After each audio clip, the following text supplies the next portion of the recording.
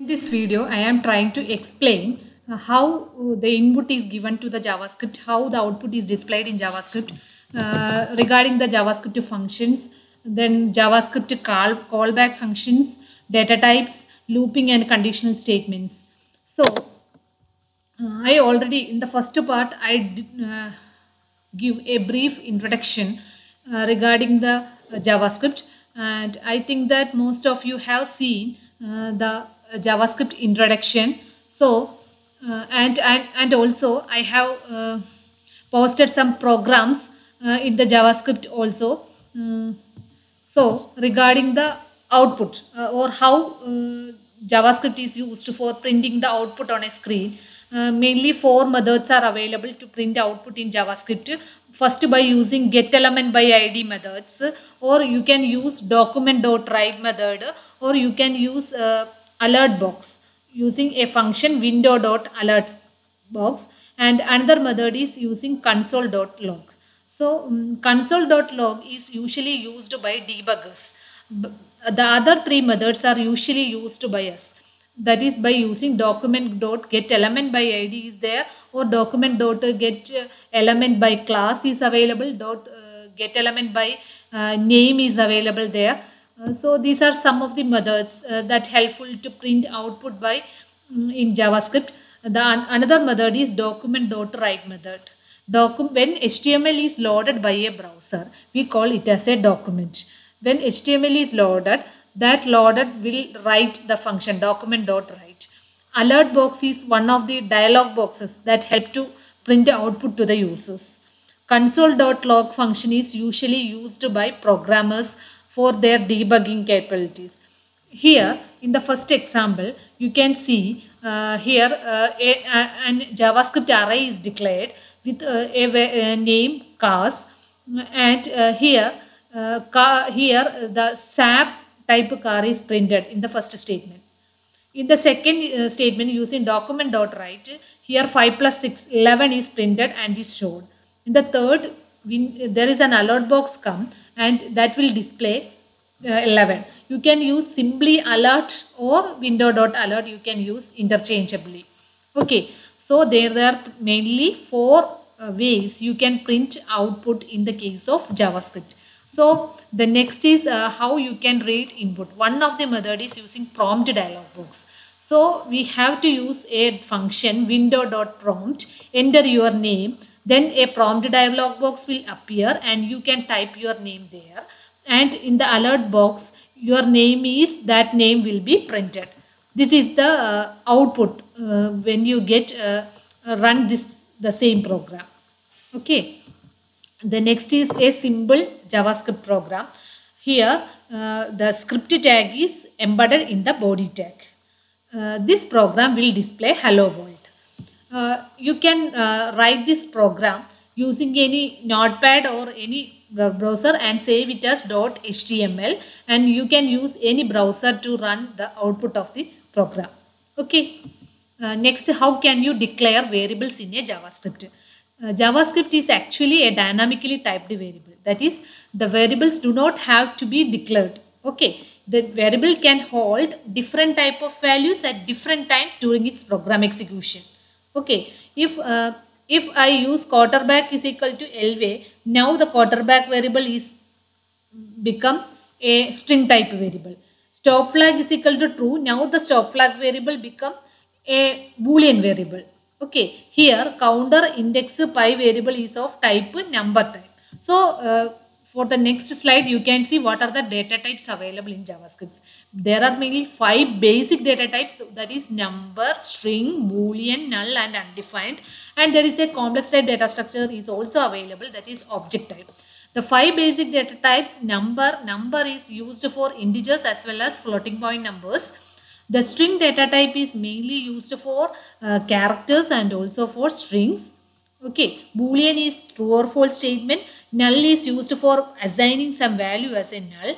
Undefined if you are uh, declaring some variable that is uh, that have to be uh, defined uh, that is not assigned any value you can assign it as undefined. Object is a uh, complex data structure that is available in JavaScript that will be detailed in the next video lectures. Okay. Here there are uh, some examples of these data types. Here where length is equal to 16 means length is a number type variable. var last name is equal to Johnson means last name is a string type variable. var char means char is a variable which is undefined or its type is undefined. I have already mentioned that there is a, an object JavaScript objects. Here the objects are written in the form of name colon value pairs. Here first name colon John, last name colon uh. So this is name value pairs. Okay. This is the uh, way the objects are declared or defined in the case of JavaScript. Here the person is an object and uh, here the person is assigned the value null. Here null data type is used for assigning the person object value as a null value.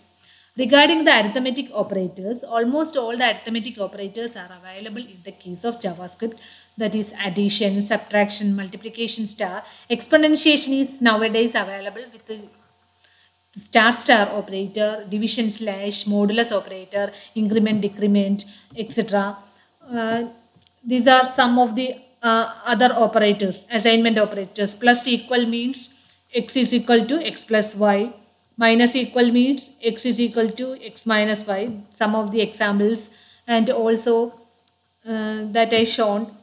And uh, the functions are also available in the JavaScript.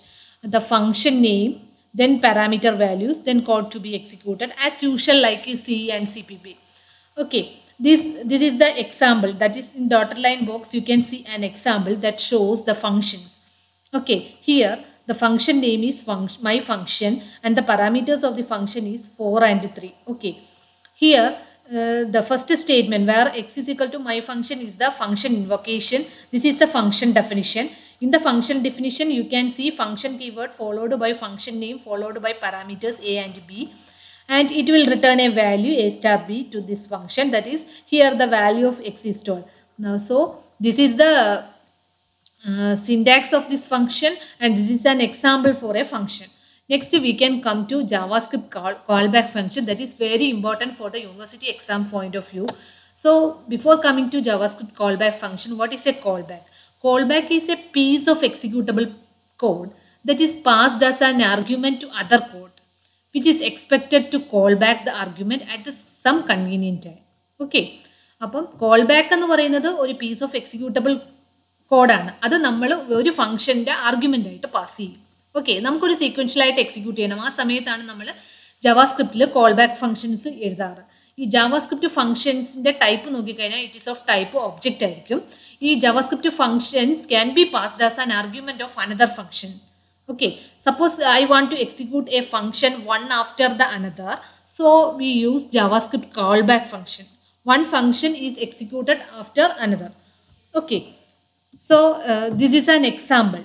Here you can see the definition of two functions in reading function add and function disp okay these are the two function definition okay and i have an uh, function called add I have just called add. Inside the add function, I invoked the disp function. Okay. You can see in the um, add the definition of the add function, you can see a keyword callback. This indicates that the function add is executed first, then it is followed after executing the add function, the disp will be executed. So here we are using a uh, keyword callback. So this callback, callback of disp will be executed just after completing the add function. That is add is first executed followed by disp is executed. This is an example that shows the callback function. This is one of the previous uh, university questions that will be asked. Okay, this is another example of callback function. Here you can see the definition of two function and there is a function called function 2. So in the function 2, you call the function 1 and uh, function in the function 2, the function 1 is in the callback mode. You can see that is uh, here 2 is the var1, function 1 is the corresponding callback function. So function 2 is executed first followed by function 1. So function 2 is 2, 2 is passed and is assigned as variable 1 and then alert box will shows the value of 2. So I think that you understand the callback function. Regarding the JavaScript, it ignores spaces, tabs, new lines that appear in the JavaScript program. Usually it ignores, it ignores that new lines. Okay, this, uh, the symbol statements or JavaScript, each JavaScript statement must be ended by a semicolon character. Moreover, it is a case sensitive language and JavaScript uh, accepts both double and single quotes in the case of strings. The comments can be written as single line comments or multi-line comments as just like C. Another peculiarity of JavaScript is an untyped language. This means that once a variable is created in JavaScript using the keyword var, we can store any type of value in this variable. So in this sense, we say that JavaScript is an untyped programming language. Regarding the comparison operators, there are mainly uh, all the op comparison operators that are available in any other languages and this is an example that shows a JavaScript code that shows the usage of this um, comparison operators. Here uh, in the body I mentioned a script tag. Inside the script tag two variables are defined then a line break is defined. So uh, first I check whether A equal to B. Okay then uh, the result will be printed. Then after the result I have to make a line break. Okay Usually the JavaScript will ignore that. So we have to separately line line break. Then uh, the next statement is a less than b is checked that will be showed. Uh, similarly, you can uh, see the program or to write this program and execute the program you can see the result. There is nothing more in this program. Regarding the conditional statement here if say if else statement if else if statement is available Okay, this is an example that shows the usage of if-else statement. Here age is assigned the value 20 if age is greater than 20. Here uh, the statement is shows in the bold, bold line we have to show that the result is qualifies for driving. Okay, similarly you can use else if. This is an example that shows uh, the else if. Okay, this is an uh, this is switch case is available in um, JavaScript. Uh, this is an example for switch statement uh, and uh, while loop is available. Okay, this is an example that shows the usage of while loop. Do while is there. Okay, uh, this portion that will be uh, explained in the next video lecture. I think that you understand this